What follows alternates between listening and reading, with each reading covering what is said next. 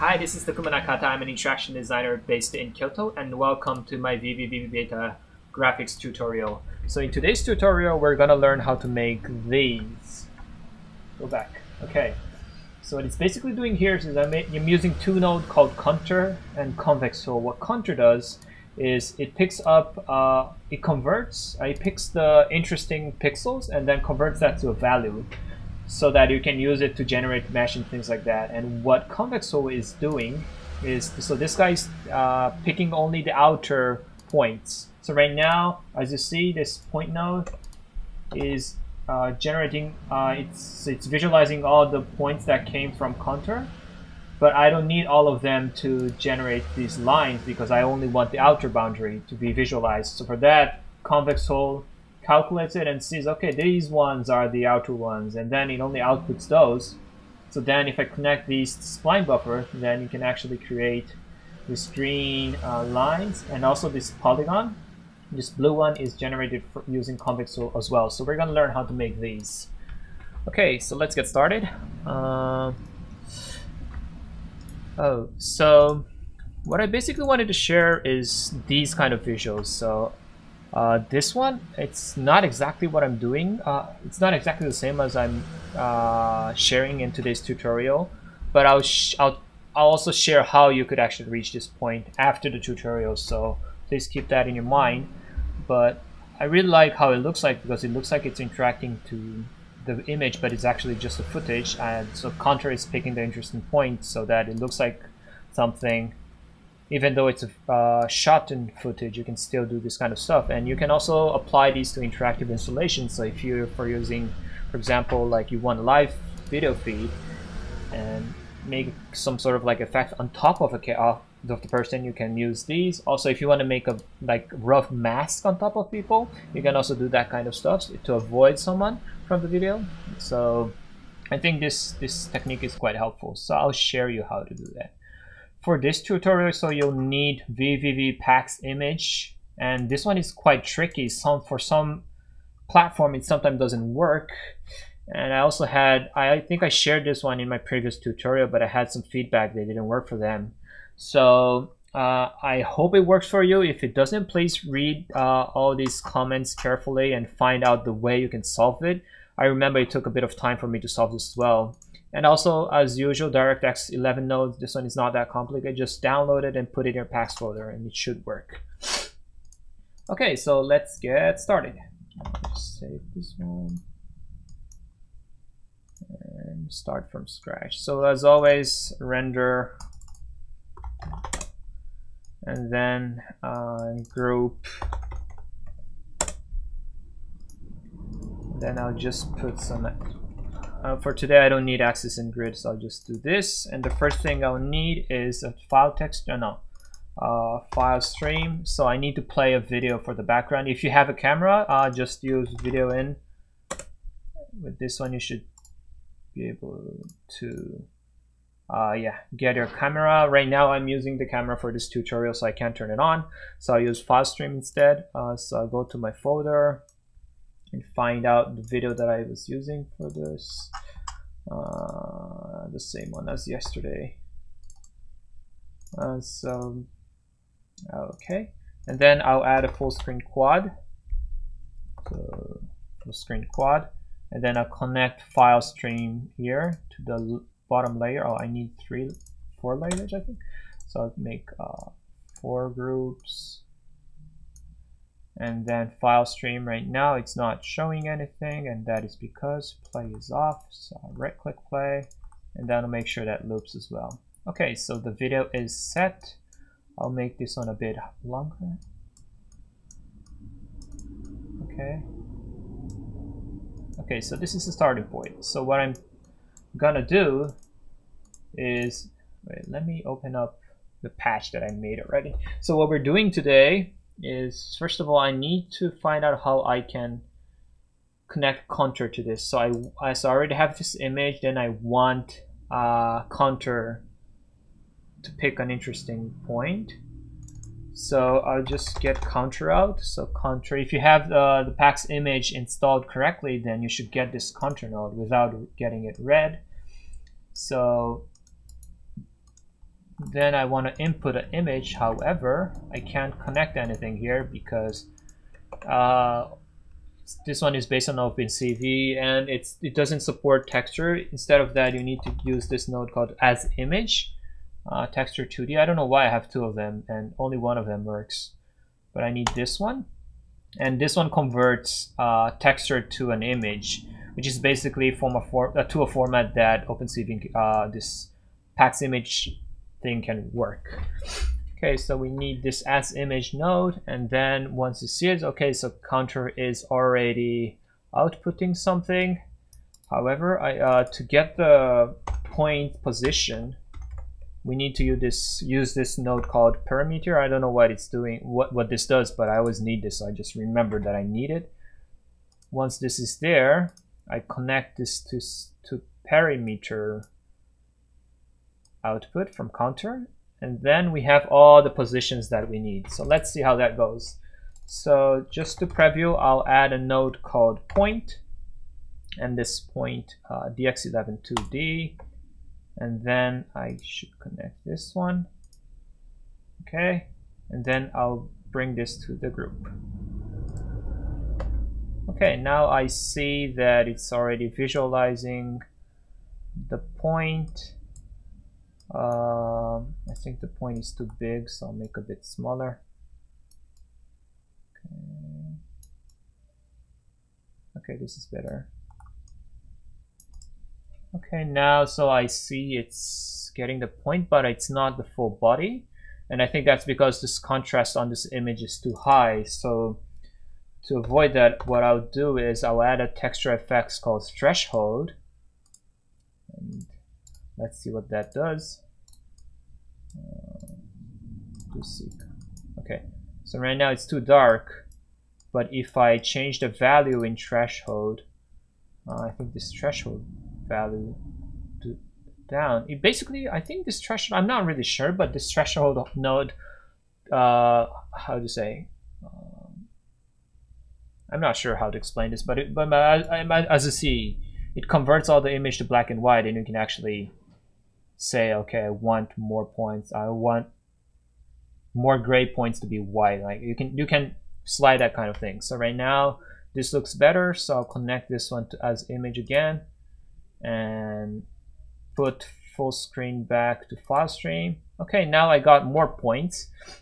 So it's easier for me to uh, generate a mesh out of it. However, uh, you have to be careful that this contour thing, right now my background, my image, of, uh, the image, uh, my background is uh, black, so it gets not too many points, but still it's almost 10,000 points. And this contour thing crashes if it goes too high and if your computer can't handle. So for that, what I would do is I'll I'll set a resolution for this threshold out. So I'll set this one use default size on and right now this resolution default size is uh, 256 by 256 I think this is too high so I'll just put it down to 100 and as you see now I have I have less point and my computer seems to be happier.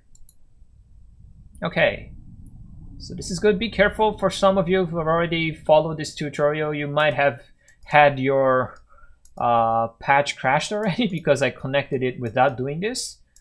Uh, I hope it didn't, but for some of you, probably it did. So just make sure that you follow this tutorial and you do this and then you connect this to as image. I forgot to mention that first. Okay, so now I have all these points that I need. So what I'll have to do is uh, add convex hull 2D Later on, I'll explain a little bit about 3D, but today we're using 2D. And then this one has X and Y and bin size input, so I don't have to change the bin size since minus one means it's gonna automatically calculate the bin size for you. And for the X and Y, I just have to connect these and split it to two, and then I input it here.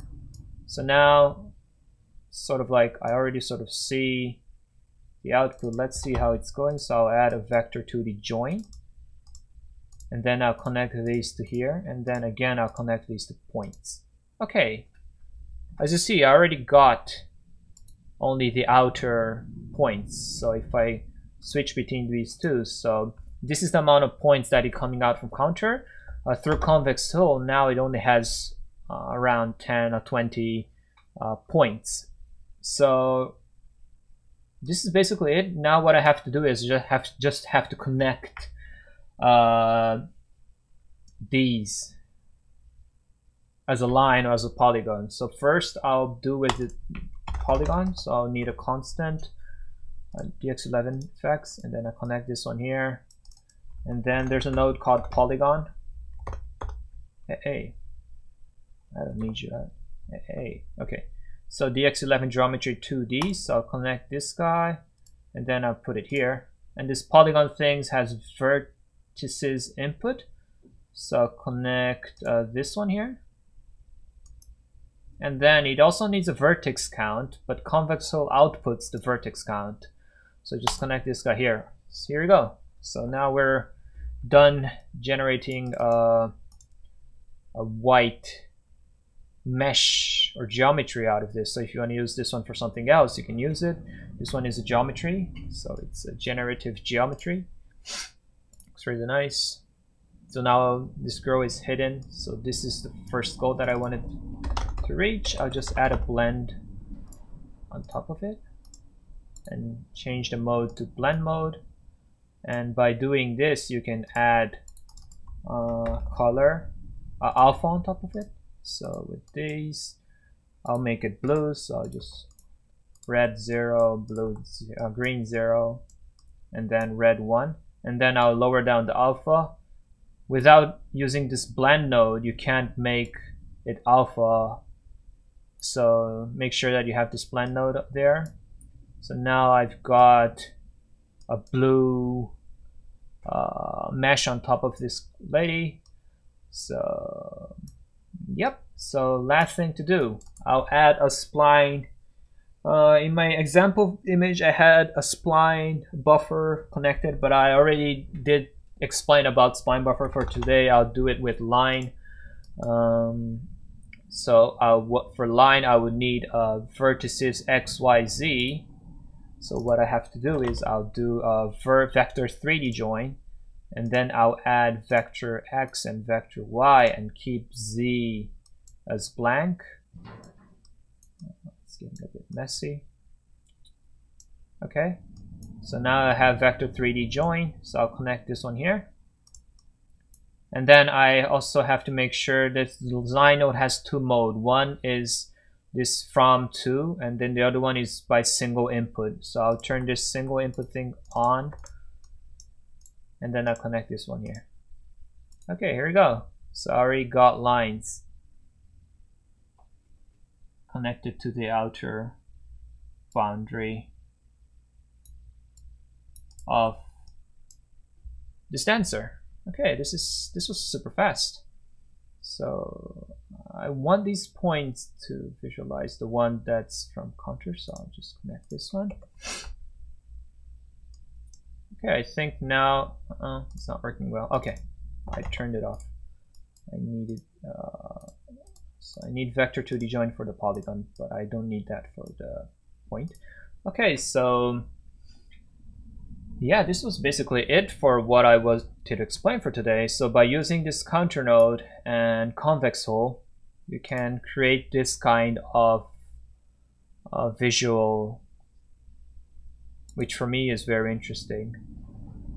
And uh, so you can do this kind of things with your live input with, you can also do these with mesh. I mean this convex hull node can be applied for whatever. So if you follow my bullet physics tutorial there's also a node called convex. Hull what it does is basically the same. So you, if you have a random node and if you want them to if you want to generate a mesh out of uh, only the outer points then you just have to connect convex hull and output those and recreate a mesh out of it Okay, so this was it for today. And in addition to this, uh, I'll explain another thing. So in my previous post on, not this one, uh, the one that I showed, so in previous post, this one made, that I posted on Instagram, I wasn't using this one, but instead of that, I was, I created this using Convex Hull 3D, which is this one.